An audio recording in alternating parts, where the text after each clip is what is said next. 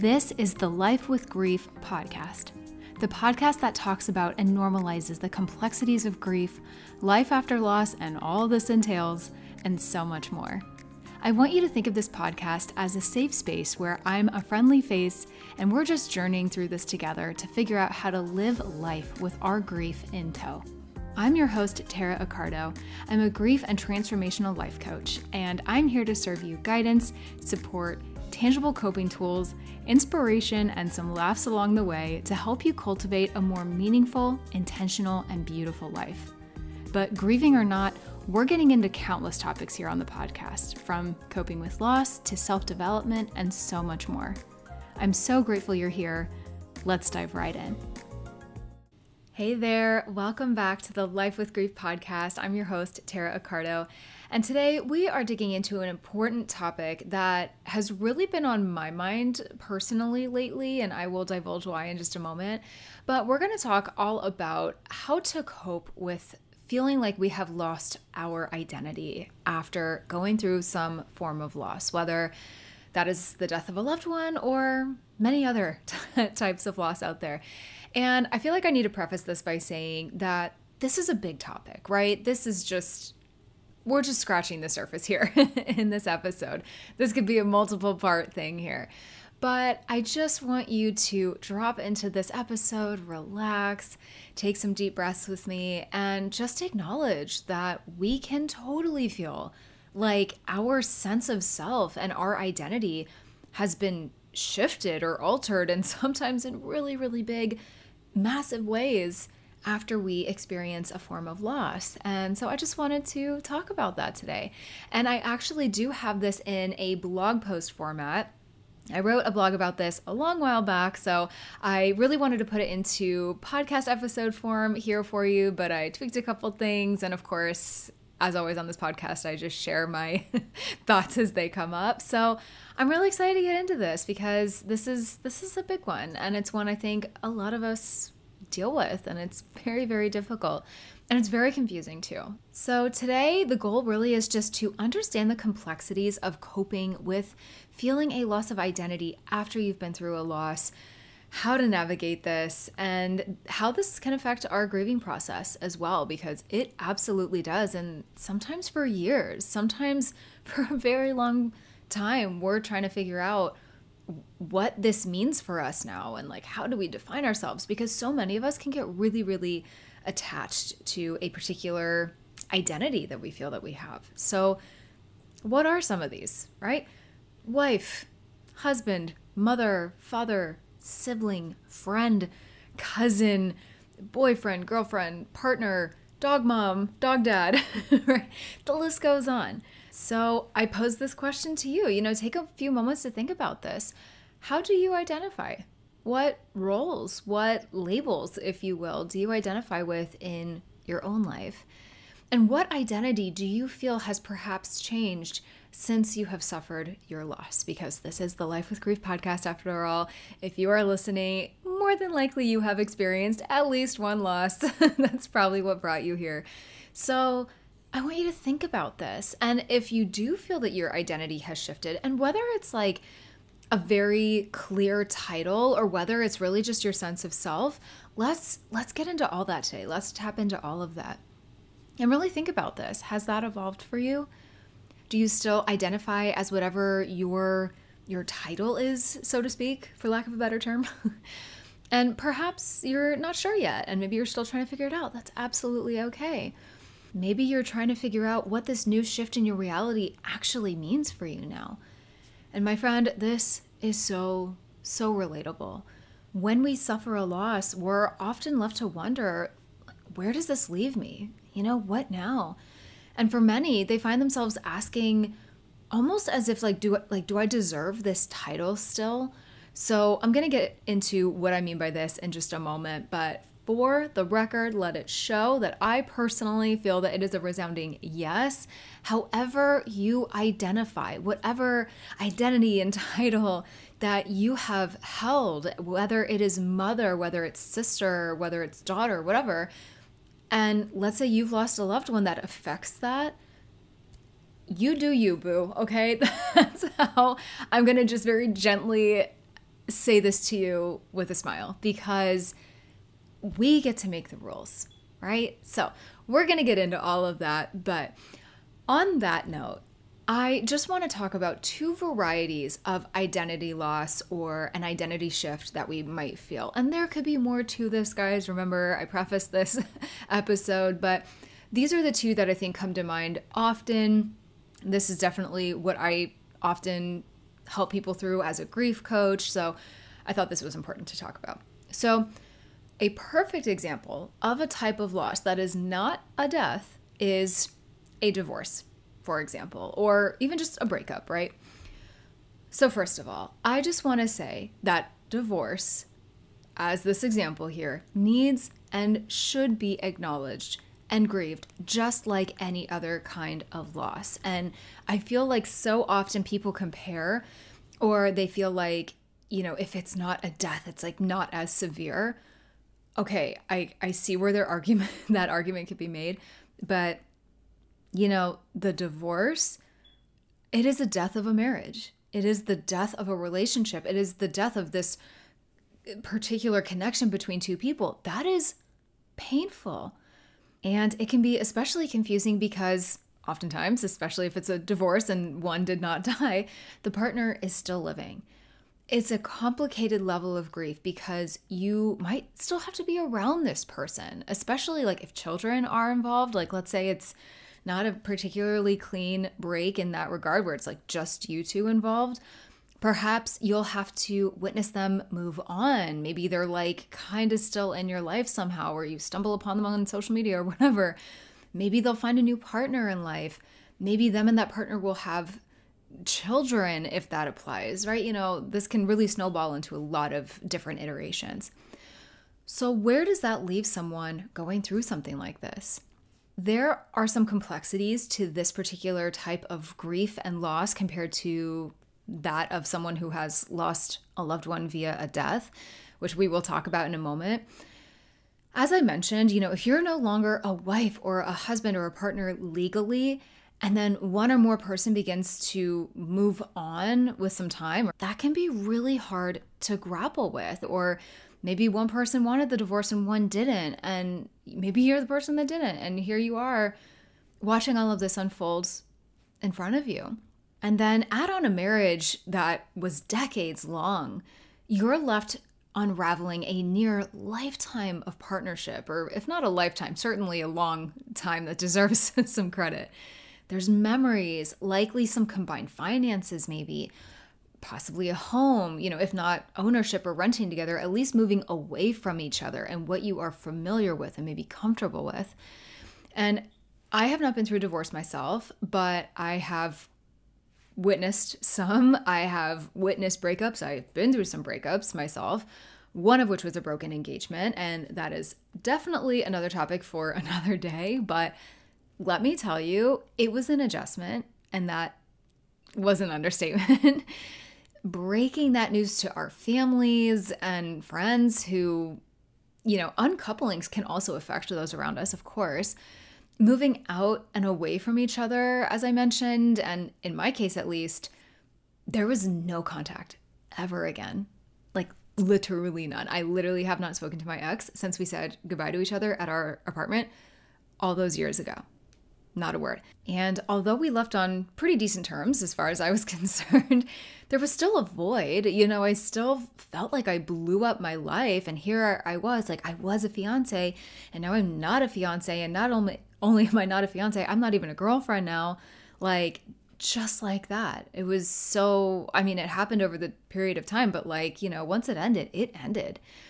And it's a lot to get used to. It was a lot to get used to not living with him and being with him every day as we had been for the last five years together. So this can look and feel so different to everyone, but I, I ask you as the listener, you know, have you ever been through something like this? And again, we can widen the the net here. It might not be a breakup, but even a friendship or something, right? There's there's a lot of adjustment that we have to go through here. So even if you're not really mourning or even that upset to be away from a person, there can still be a sense of needing to find a new identity, a new normal. Or maybe you just need to find new things to fill your time that you would have been spending with them.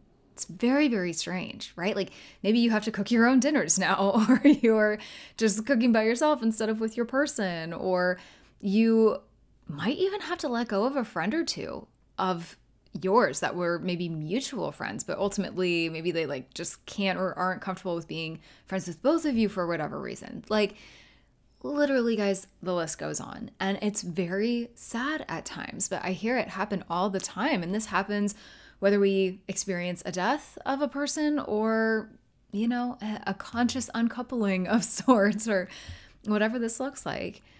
And there is this sometimes very abrupt new change in lifestyle that takes a lot of coping with. And even if the person is still alive and well, and sometimes that can actually even be worse. I've talked about how my now husband and I broke up at one point on the podcast before, so I will not belabor this for those who have heard this story. But long story short, a couple months before my dad died, my again, now husband and I went through a very difficult time and we broke up with no no plan to get back together. And I found myself in therapy around the time that my dad died, which I'm so happy I did.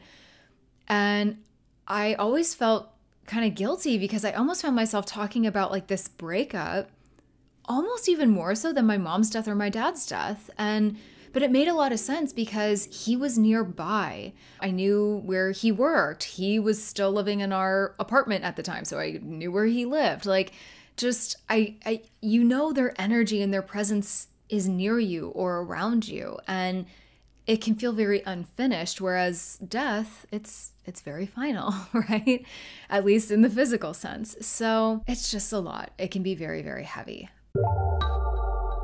Hey, my friend, are you needing some relief from your grief? If so, I have an exciting new offering that will help you get exactly that.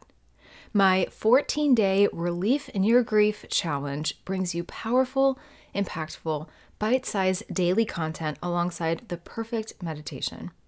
One of the biggest struggles I hear from my members, clients, and people on social media is that they just need some relief from the stress, sadness, and pain that grief and loss can cause. But here's the thing so many people are lost and unsure about where to start. This can feel like a huge thing to tackle, so we are doing it together and we're starting with just 14 days. Give me two weeks and I will help you begin to take that anxiety, heartache, and anguish and turn it into peace, clarity, and hope as you move forward with your grief. Seriously, what do you have to lose by joining? Challenge your grief and give yourself some relief, my friend. I have no doubt this 14 days will be an inspiring, uplifting, perspective changing experience for you. Join now through the link in the show description. But let's switch gears here a little bit. Speaking of loved ones that have died, what if the person that we've lost has died? What if it's not the ending of a relationship or a friendship or like a living loss? As an example, having lost both my parents, I, funny enough, I've been called an orphan by like a few people, like multiple people, which I will be honest with you, I really struggle with. Like, yes, technically speaking, I am an orphan, like by definition. I had parents, and now I don't have any here in the physical world in the traditional sense. Now, I always laugh to myself about this because I might have some like Annie with a Daddy Warbucks and Mrs. Hannigan complex going on, but like that never really sat well with me. I I really I don't love being called an orphan. I'll be very honest. It it like to me it makes them sound like they abandoned me, which simply isn't true. They never, ever would have abandoned me. They never, if they could have lived as long as I did, I know they would have. So I think that's why I laugh about Annie because ultimately her parents gave her up, right? Like mine didn't do that. But one could ask the question like, how does that affect my being a daughter? Let me be perfectly clear in that I personally will never, ever not consider myself a daughter. I was created and brought onto this earth by two people who loved each other dearly, who loved me dearly and who were and are, because I do believe that they are still around me in the spiritual realm somehow, they are still my parents. That title can never be stripped away from me simply because they're no longer here in the physical world. That is my own personal belief. You do not have to feel that way, it's all good. But it's just that when someone dies, that leaves us in a in a weird place sometimes to, to say the absolute least. An even more impactful and complicated set of problems arise when the person that we were so deeply identified with leaves us from the physical world. It is beyond just feeling lost or unsure of where we stand. It goes so, so, so much deeper than that. So take pregnancy loss or maybe a mother losing her her only child or a child, for example one might wonder or unfortunately other people might impose this on them. You know was i was i ever a mother? Am i still considered a mother? Am i deserving of this title even though i'm technically on paper not one now because they have died?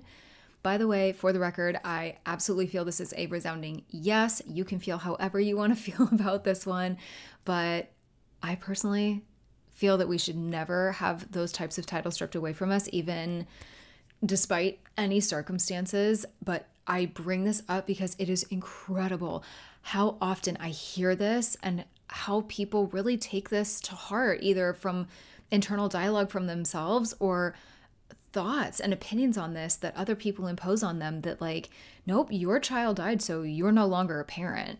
You know, for example, if that was their only child. And I just think that is it's just the saddest and most tragic thing. And I've had a couple of people in my family lose a child. For example, they only ever had one in the case that I'm thinking of. And never once have I ever considered them not a parent, no matter how long or short it was, whether that child made it years into their physical life here or whether they simply didn't make it full term. If this is something you're struggling with, please give yourself the permission to own this identity in whatever way feels right to you. Something like a wife or husband after a partner passes away might evolve if you eventually find another person to love. Which, by the way, I have at least two to three guests coming up here in the next two to three months on the podcast who have lost their partner and can speak to this better than I can. But I'm so excited for you to hear their journeys about losing that partner and eventually finding love again it's it's so so profound. So i just wanted to interrupt myself really quick and say that. And you know you might come to find love in a new person and it's certainly not in the same way that they had before or that you might have before. It's just it's different. There's no comparison. It's beautiful in its own right. Now where i hear a lot of people tend to struggle of course of course with a partner, a child, unspeakably difficult, profoundly, profoundly devastating. And this these rules apply to them as well. But I hear so often that people do struggle long term with the loss of a parent, really because you will never get another set. No matter how these parents were to you, biological or not, adopted or not, or perhaps they were just some sweet souls that took you in and are family friends turned parental like figures. Whatever the shape or form, they are all meaningful and all have a massive influence on the way that you were raised and what we learn and how we learn it, and so much more. And they're people that we are tied to so, so tightly and so deeply bonded with. And especially if they are our biological parents, we quite literally came from them. So that's big. That is really hard to comprehend and ultimately really hard to cope with as we're grieving. So, I want to touch on how the brain processes our identities and memories with those that we've lost. And I'm going to get a little sciencey here, but I think this is so fascinating and so important to just keep in mind as we are navigating life with grief and life after loss. So, our ability to imagine our future, this new and unknown space before us that no longer includes our loved one or loved ones, uses a similar brain network as remembering our past. So, think about that for a second. Memories are what happened when our brain replays neural activity that was generated during the original event. This creates a perception of the event. So, when neuroscientists do brain scans, when people are remembering their past and imagining their future, there's a significant overlap in the brain regions used for those two mental functions, which I find so fascinating because, like, past and future can feel very different. So, when people have difficulty remembering events in the past that happened to them, they also tend to have difficulty imagining the future and what they might do. Kind of makes sense, right? And just to share this test that was done, I personally found this fascinating. Harvard psychologists Don Robinaugh and Richard McNally tested bereaved people's ability to recall personal memories.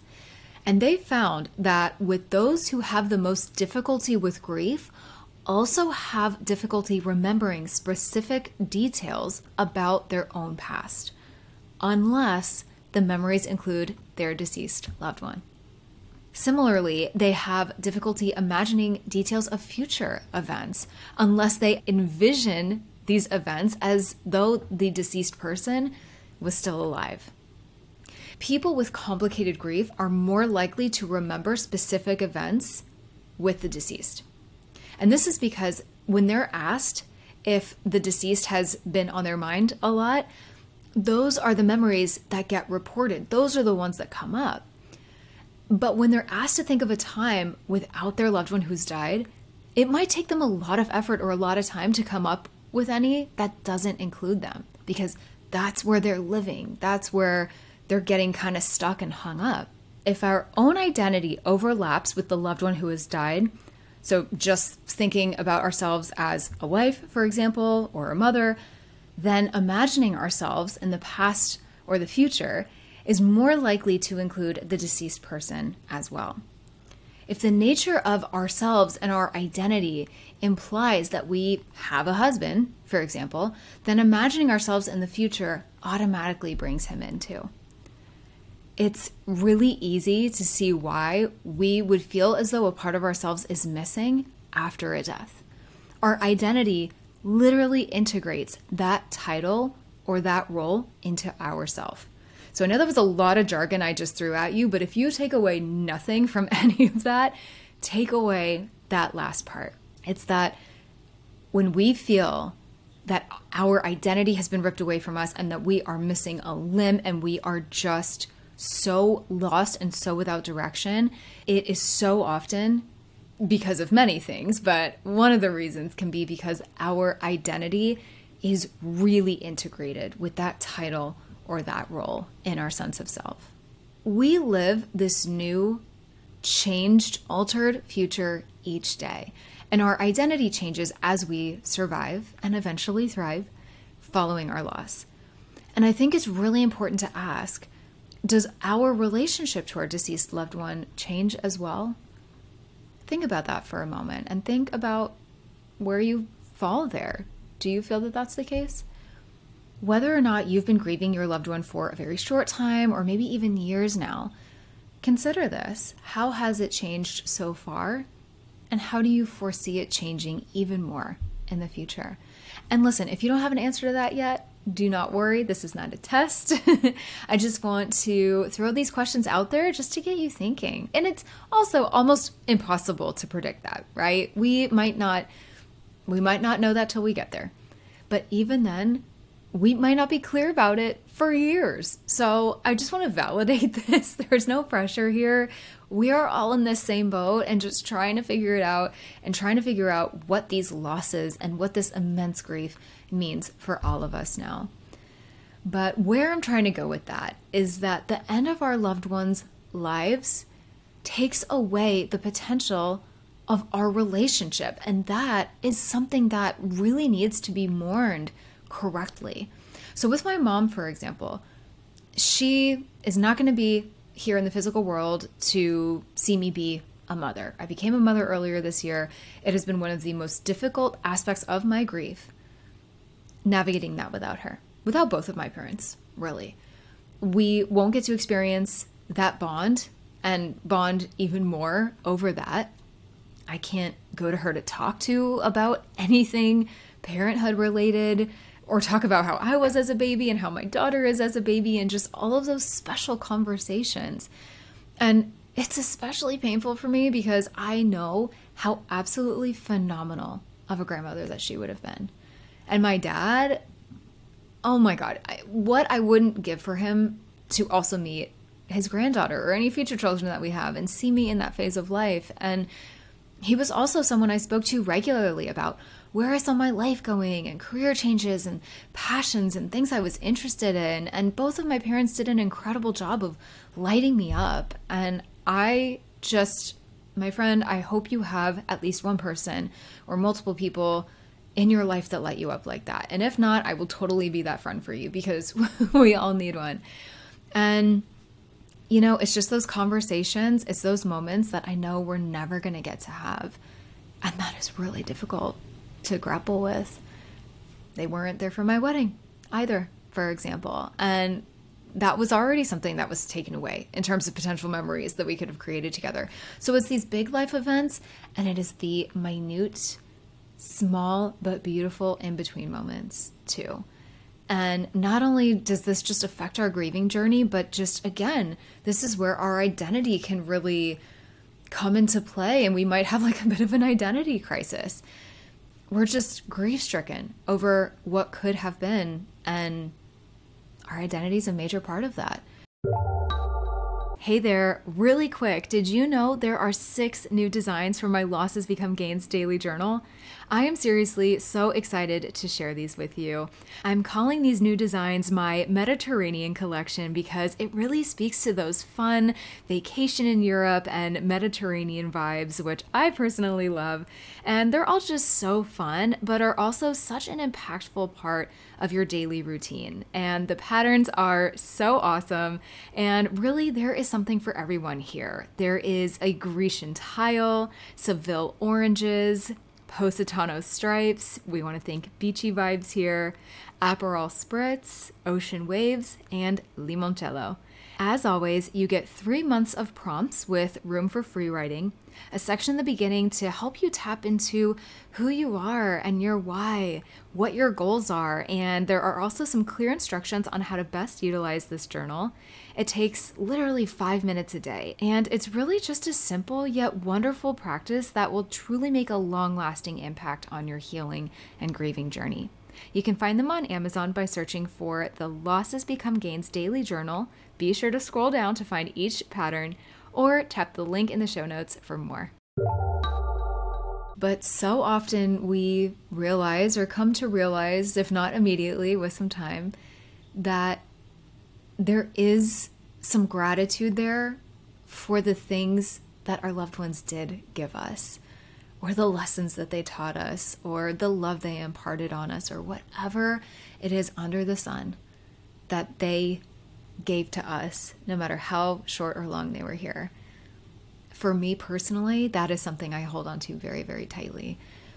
Maybe it's a partner that provided you with laughter and fun trips and intimate moments and beautiful memories. A child where you had a bond that you simply cannot describe. No words will ever do it justice no matter how long they were here for, and the love that you felt for that human that came from within you. Whether or not you were the biological parent doesn't matter. That love, it transcends all space and time. And at the end of the day, I think so many of us would not give any of that up for a moment. But that being said, I think so many of us grievers feel this and can agree that the pain is horrific at times, but we would not give up a moment of loving our people and having them in our lives for as long as we did. And as we age and as we move through our life without them, while we might feel grief over their absence in this new part, this new phase of our life that we did not even ask to be in, might I add, we continue to adapt to their death because we have to right? It is survival. And we continue to learn how to restore our life and live a meaningful life. Our relationship with our loved ones, present, past, and even future, can be transformed when we focus on all of the good that they want for us, despite any difficulties or frustrations we might have had in our relationship with them when they were here. Human relationships can be very complicated, right? But our understanding of ourselves can change as we gain wisdom through experiencing our relationships, the ones that are here with our living loved ones. We can perhaps grow more compassion, more empathy, find some more gratitude for the things and for the people that are still here, still around us. And it is not to replace the loss of our loved one or our loved ones with gratitude and a happy mindset and calling it a day. No, it is not about that. It is rather understanding that those two things, joy and also our grief and our sorrow, can actually coexist. And when we allow our interactions with our loved ones that we've lost to grow and change, even if only in our minds, this is a beautiful transformation that our relationship with them can go through. And that can ultimately really affect our capacity to live fully and live in the present. So if you ever hear me talking about having, you know, an intentional, meaningful, purposeful life and all, of these I admittedly can they can sound like buzzwords. This is what I mean. It's learning how to carry them with us and feeling them lifting us up along the way in whatever identity we choose to maintain or let go of or whatever. It's creating aspirations for a meaningful future. And in a way, it can also help us feel more connected to them. And more importantly, connected to the best parts of them we can learn to become a better daughter, a better son, partner, cousin, whatever this is. Our love for them is still there. We just have to find a different way to express it and find a different outlet for that love. That outlet to them is always going to be there. That ain't going nowhere, okay? But it's taking it day by day, moment by moment, and talking to them and feeling them around us still and journaling and doing whatever we can to keep that memory and that connection alive. And it is possible. And there are so many resources on how to do this. I provide them here on the podcast, on my blog. I have my Losses Become Gains daily journal to help you kind of get into this mode. And so I just want to leave this episode on a high note today. And I want to do this with a beautiful quote from Mary Frances O'Connor, who wrote one of my favorite books called The Grieving Brain. And she says, Their absence from our physical world does not make our relationship with them any less valuable. Right? So I ask you, how will you honor your loved ones today? How will you perhaps loosen the grip on this identity that we've held on to so tightly and just be? Be you. Acknowledging the relationship solely between you and that person, honoring that so fiercely, and not letting go of that title or that identity if we don't want to, but also realizing there is so much more beyond the surface of each and every one of us and just taking some of the pressure off about, you know, worrying about how we associate ourselves with them and being so tied to our identity that it actually keeps us stuck, which I see all the time. That's the purpose of this episode. versus finding joy that their soul was and continues to be in our lives in any capacity, however you choose to believe that. And not that you need my permission, but once again, I'm giving you my permission here today in case you need it the permission I'm giving you is to know that it's okay to let go of any guilt, to let go of the pressure of thinking so intensely on what our identity is now and what it means for us and what to do next. This is where I see so many grievers get stuck. And it's okay to surrender and to release that. It's okay not to know. It's okay to feel one way one day and one day the next. It's all good. There's no rules. And it's okay to be confused by it and not really know how you feel for a while. It's perfectly normal and it's perfectly okay. You can be all of it or you can be none of it. No one is putting that pressure on you to figure it out but you. And if they are, for some ungodly reason, please pay it no mind. Remember that this is your journey. It's you your identity with this person. I bring that up because i see this all the time. People are like well your husband or your wife died. You're you're a widower now. You are no longer that husband or that wife or whatever. And people try and strip grievers of their various identities so fast. So fast. It's it's awful. So all that is important is how you feel. And i just want you to remember that today and how you want to carry on that relationship and that title and identity if that means something to you. And it's okay if it does, and it's okay if it doesn't. And I promise you, your loved one knows how special that invisible tether and bond that you share with them is. And no title will ever change that. Remember, these are titles that we give ourselves here in the physical world because this is what we do as humans. But that relationship with the deceased, is between us and them. And that's it. You are the one that's still living, so you get to decide. And that's a pretty amazing decision to be able to make, right? So, that all being said, I thank you so much for hanging out with me through this one. I know this is probably kind of an interesting conversation. Maybe you didn't see it going in this direction, but that's what I like to do here on this podcast and just leave you with some things to think about and hopefully leave you feeling a little more uplifted than you did when you came in. So I am sending you all the light and love as always, my friend. And with that, I will see you in the next episode.